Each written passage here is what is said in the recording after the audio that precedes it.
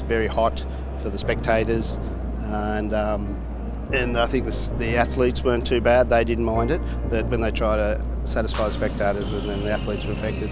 Peter Viles uh, from GOLDOC contacted Griffith looking for someone to do some computational fluid dynamics simulation uh, of the velodrome. Well, the thought was to install some fans uh, in, inside the velodrome and to try and use those uh, fans to uh, make it comfortable for the spectators uh, without uh, interfering with uh, the athletes on the track or the cyclists. Once he broke it down and kind of told us what the possible solutions could be, then with the help of the GOLDOC team I knew we'd be able to solve it. I had an advantage already, um, especially um, using fundamental principles of heat and mass, um, transfer thermodynamics and applying it to to the velodrome. Unknown to them, they, they did have a good skill knowledge already from thermodynamics, heat transfer.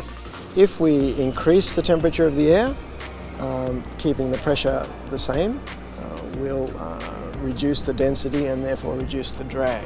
Air circulation, air density plays a huge part and we're very fortunate to live in Queensland where we have really hot weather. It feels effortless and it feels like you're just moving so fast and so fluid. An internship at GOLDOC really um, puts you above other graduates because not many graduates can say they've been a part of the 2018 Commonwealth Games.